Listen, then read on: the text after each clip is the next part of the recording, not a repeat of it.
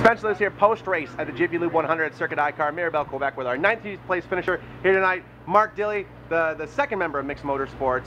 And it was a it was a last-minute decision to fly you in, my friend. Go ahead and bring me up to speed. What exactly happened? Because Kerry Micks looked great in practice and time trialing yesterday, and then the 02 car had to go to the tail end of the field uh, for a driver swap. What happened? Ah, Kerry was sick. He got sick, uh, got flu or something, some sort of bug, and just wasn't feeling well. So he was in and out of the, the medical center and that.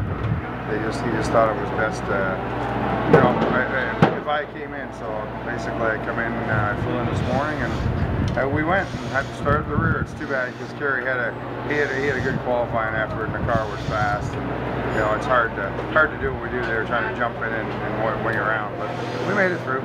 Jumping right into the hot seat with, with no practice here. I mean, you hadn't raced here for three years. I mean, it, it, it's got to, it's asking a lot of a driver to, to sort of just jump right in there and, and start at the tail end of the field. Yeah, this is a harder one too because there's not a lot of visual points to pick up where the corners are and stuff. So it, it uh, I mean, it went 29 knots green. I think I was still learning at lap 28. So, I mean, a couple of cautions would have been good, but that's okay.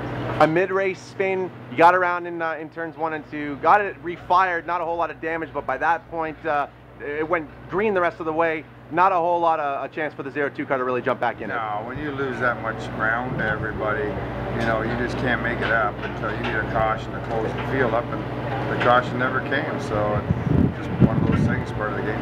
Cars in one piece though, and, and now we get to look forward to the Western swing. I know you guys love the West. Uh, you, you, excel out there. You've had some great runs. Let me know uh, what we're looking forward to these next couple of weeks. This was uh, the night number one of four races in 20 days, so it's starting to get crazy. Yeah, no, I think we'll be good. The oval program's been pretty stout. We tested uh, last week at Sunset. The car was good there, so we're excited. I'm excited to get out there, new track. Saskatoon, we've been second the last couple of years there, so, you know, and then the new track at Edmonton. I'm, I'm excited to get going. I'll be forward to looking forward to it. Edmonton's kind of going to be neutral ground for, for all you fellas that are heading out there. No one's got lap time. No one really knows what uh, what to expect. Do you have any scouting report whatsoever to sort of rely on heading into that event? Yeah, I actually taught some schools out there about 10 years ago, 11 years ago, so I kind of know it. I can't remember a lot about it, but I know it was a lot uh, similar to like a, a Barrie flatter and that. So yeah, I think I think we'll be good. It's kind of what we practiced for. So.